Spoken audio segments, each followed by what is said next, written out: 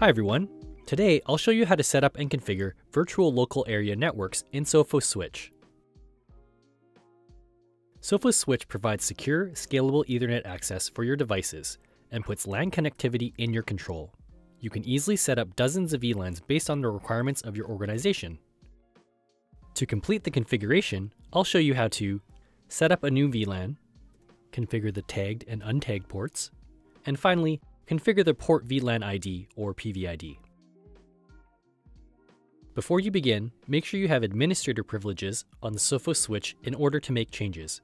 In addition, you'll need to note the login credentials to access your Sophos switch user interface. Note, the default password is located on the back panel of your device. Refer to the documentation linked in the description for more information. Let's get started. Today, I'll be configuring this example environment. Your specific scenario may differ, but the steps will be the same no matter how many VLANs you wish to configure. Note that in Sophos Switch, access ports, which connect end devices in a single VLAN, are referred to as untagged ports. On the other hand, trunk ports, which carry traffic for multiple VLANs, are referred to as tagged ports. There are two devices here. PC1 is part of Group 100, which resides in VLAN 100, and PC2 is part of Group 200, which resides in VLAN 200. Moving on to the Sophos switch, untagged ports 2 to 4 are configured for VLAN 100. Meanwhile, untagged ports 5 to 7 are configured for VLAN 200. Port 8 is a tagged port for both VLANs and carries traffic between the Sophos firewall. I'll start with setting up a new VLAN in the Sophos Switch UI. In a new browser window, enter the IP of the switch, which should be 172.16.16.239. Log in with your credentials. Once again, the default password is located on the back panel of your device. Now, in the Sophos Switch UI, go to Configure, VLAN Settings, 802.1q. Click Add. First, enter a VLAN ID, also known as a VID. Note, this must be a number between 2 and 4094, as VID number 1 is already taken by default. In my case, I'll enter 100. Then, enter a name for the VLAN group. Mine will be Group 100. Click Apply. I've successfully created my first VLAN and group. Now I'll repeat these steps to create VLAN 200 and Group 200. Moving on, I'll configure my ports, starting with the tag port. For the first VLAN, I'll click Edit. This will show a diagram of all ports on the switch. Under Tagged, click the box to modify the value. In this example, I'll choose port 8. You'll see that it's now marked with a T. Click the check mark.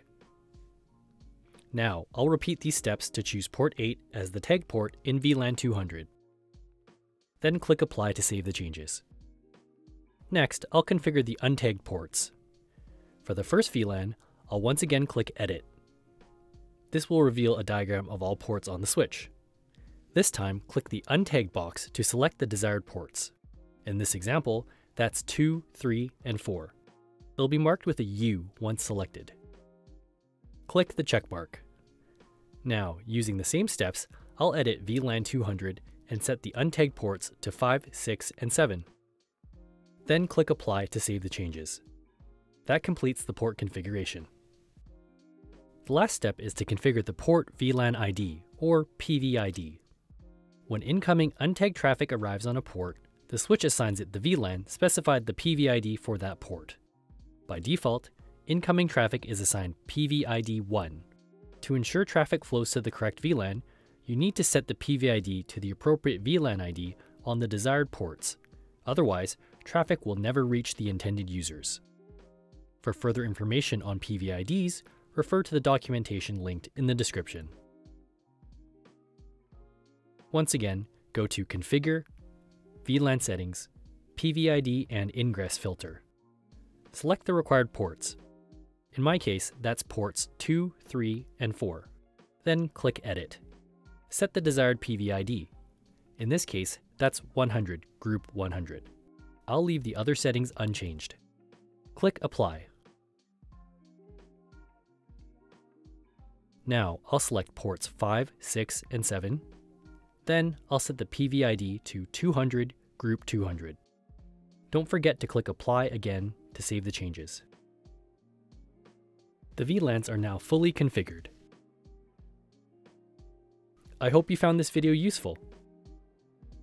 Check out the documentation for this video in the video description. For further assistance, view and post questions on community.sophos.com and go to techvids.sophos.com for more great videos like this one. Thanks for watching.